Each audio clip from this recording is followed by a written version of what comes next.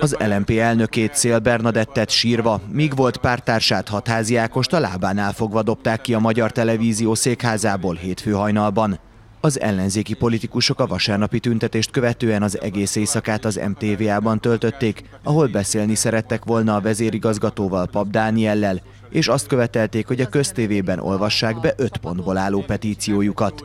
Több órányi reménytelennek tűnő próbálkozás után hatházi megpróbált felmászni a szerkesztőség szintjére, de a biztonságiak lerángatták, a földre teperték és kitessékelték az épületből. Mindezt a tiltakozó képviselők élőben közvetítették telefonjaikkal. Ez egészen elképesztő, mindent megmutat Magyarországról, megmutatja, hogy ennek a hatalomnak ez a legfontosabb bástyája.